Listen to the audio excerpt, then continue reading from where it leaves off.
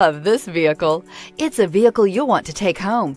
Call today and get in touch with the dealer directly and be the first person to open the vehicle's door today. Take this vehicle for a spin and see why so many shoppers are now proud owners.